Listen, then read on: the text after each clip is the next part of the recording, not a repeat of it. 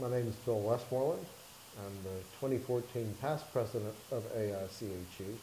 And I'm here with Bill Banhol- Banholzer, who's just given the keynote address for the spring meeting of AICHE. Bill is presently at University of Wisconsin uh, with an appointment as a research professor in chemical and biological engineering at Wisconsin. Uh, also with appointment with chemistry and with Wisconsin Energy Institute. However, he came there last year from being uh, executive vice president and chief technology officer for Dow Chemical. And before that, 22 years at GE, where uh, I had met him when he was doing very interesting diamond development work. So he's seen a wide variety of technical and business topics. His talk, though, was titled The World Needs Engineering Judgment. So, Bill, would you make a few explanatory remarks about the material that you covered there? Sure. I have never been more optimistic about the future of chemical engineering or more convinced the world needs chemical engineering. So I think at the height of our eh, pursuit of clean energy and water and new materials and healthcare, you know, chemical engineers understand how to close energy and mass balances. They understand reactor design. They understand thermodynamics, and they understand financial analysis. And and much of the world's goals is to try to separate from all the things that are possible what's really practical. And so my view is that the chemical engineering skills that we have, when applied appropriately, are a very effective screen to decide what are really viable options for society as we try to address these gnarly problems. Mm-hmm. Well, as CTO at Dow, you were responsible for the IP of the company, for venture capital and things like that. What personal experience, what professional experiences did you have that you can cite uh, as examples of using that engineering judgment? So I think the thing that you realize in your industry is that research is a privilege. It's not a right. Mm-hmm. And so you have to earn your ability to do research. And to earn means you've got to understand what will people pay for. And so and oftentimes we don't understand the, the importance of both marketing and engineering. Engineering defines what are costs going to be, what mm-hmm. products are possible.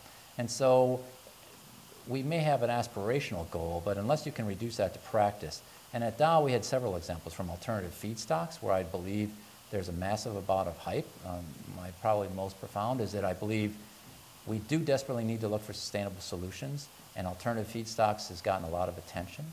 But we also, I'd say, the world is very well served by the chemical industry that we have right now. And so when we look at alternatives, we've got to understand why did we pick the solutions that we have today and why would we change? And when you look at uh, biology as a transformational tool, if you are in agriculture or you are in healthcare or specialty, if you need a chiral molecule, biological transformations are the way to do it. They're the most effective, and they've been disruptive in those industries. But when you start talking about commodity chemicals or you know, sort of when things are priced in dollars per gram, then you can think about biological transformations. When you're talking about dollars per ton, you got to understand biological organisms are mainly meant to live, and that biological feedstocks are not concentrated, and the products are often not concentrated. And the first thing we learn as chemical engineers is you don't want dilute feedstocks and you don't want dilute product streams because those are expensive. And when you're talking about commodities, things that basically you know, are sold for fuel value, you need to understand what's really practical versus what you might be able to do. So how did your education prepare you for that? Uh, your bachelor's and your, your doctoral degree from Illinois, that sort of study informed how you perceived things as well as the breadth of professional experience that you've had? You know, the most profound thing I think I could say is I remember my first Bird Stewart Lightfoot class and shell balances and, and, my, and our thermal classes where we talked about the importance of control volumes. Where do you define a system? And, and I look at that today, and, and I had an exchange with an automotive executive once who was just excited about hydrogen fuel cell vehicles. And I said, and he said, there's no emissions from this. This is great. And, and I said, where's the hydrogen going to come from? You know, there's no hydrogen mine. And I remember how we had to talk about the importance of drawing the control volumes right to get the right answer. And clearly, he drew his control volume around the car, not the globe.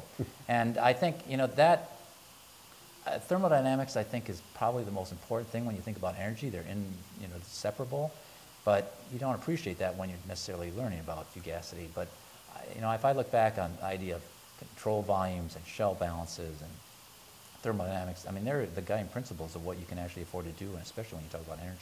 Mm-hmm. Well, again, we very much appreciate the very well attended keynote address that you give, and thank you for being here. Well, thank you.